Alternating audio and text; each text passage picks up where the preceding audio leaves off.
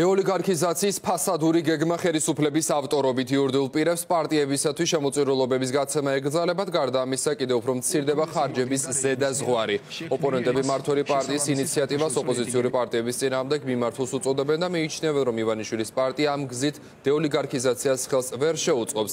ცოტა ხნის წინ საკითხთან დაკავშირებით კომენტარი პარლამენტის თავმჯდომარემ გააკეთა. რა თქვა შალვა პაპუაშვილმა მის პოზიციას პირდაპირ ეთერში ქეთინა დიბაიძე გაგვაცნობს.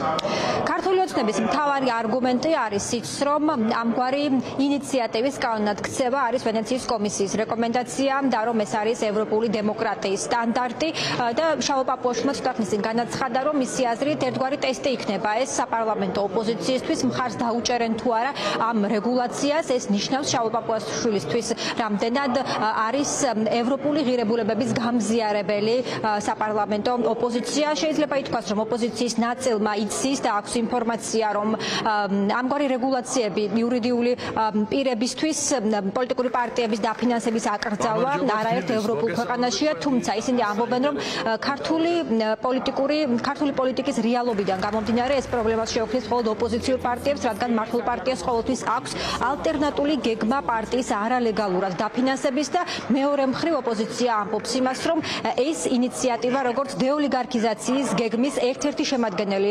პუნქტი არის ფარსი. იურიდიულ პირას თლიანად შეეზღუდებათ შემოწერილობების გაღება პარტიების მიმართ და მეორე თლიანში და პროდუქტთან ფარდობა და ასე ვთქვათ წელს წლის განმავლობაში ხარჯისა კიდევ უფრო დაიწევს. ოპონენტებს ურჩევ რომ უფრო მეტი დრო დაუთრონ კითხვას და კერძო წაიკითხონ საზოგადოების ცხოვრების სხვადასხვა ასპექტზე ჭარბი ზემოქმედების თავიდან აცილების სამოქმედო გეგმას. წაიკითხონ რომ შეიძლება დაწერია. ჩვენ ამ ნაბიჯებს მივყვებით და ეს არის მიდგომა რომელიც ჩვენ გვაქვს და ამიტომ ჩამოყალიბდეს ოპოზიცია. მათ შერჩევითი ევროპა მოსწონთ, ის ისეთი ევროპა რომელიც მათ უნდათ თუ მიყვებიან ობიექტურად ამ საკითხს. კანონ პროექტთან მიმართებით ოპოზიციის დამოკიდებულება და კრიტიკა კიდევ ერთხელ საზოგადოებას ეუბნება თუ რა დამოკიდებულება აქვს ზოგადად როგორ ექცევა და და ეთყობა ოპოზიცია ევროპულ რეკომენდაციებს მათთვის მათი პოლიტიკური გემოვნების და სიტუაციის შესაბამისად ხან არის მისაღები ასეთი მიდგომები